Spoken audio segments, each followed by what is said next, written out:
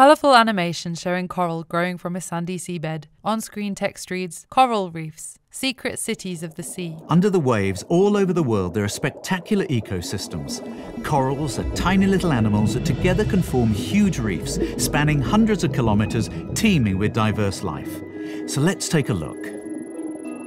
A horizontal bar chart appears with the words millions of years along its bottom axis. Icons representing coral, dinosaurs, and humans appear above in columns of varying lengths. The oldest corals lived 450 million years ago.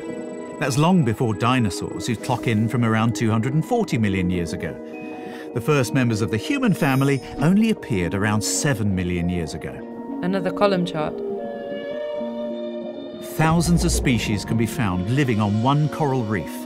For example, the Great Barrier Reef contains over 400 species of coral, 1,500 species of fish, 4,000 species of mollusk, and six species of turtle.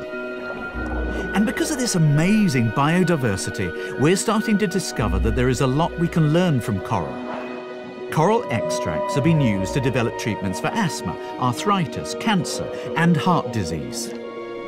Another bar chart shows coral's global value compared to the GDP of G8 countries, as reported by the IMF. Coral sits above Japan, Germany, the UK, France, Brazil, and Italy, and only the US and China are higher than it. It's been estimated that coral reefs provide a global value of 5.7 trillion pounds each year, including from fishing and tourism. More than 500 million people worldwide depend on reefs for food, jobs, and coastal protection. The ridges in coral reefs can reduce wave energy by up to 95%, providing crucial protection from threats such as tsunamis.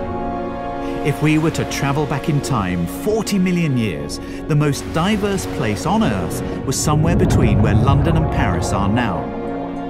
Today, the Coral Triangle in Southeast Asia holds that claim. And until the 13th of September in London, the wonder and diversity of these spectacular underwater ecosystems are on display at the Natural History Museum's major exhibition, Coral Reefs Secret Cities of the Sea.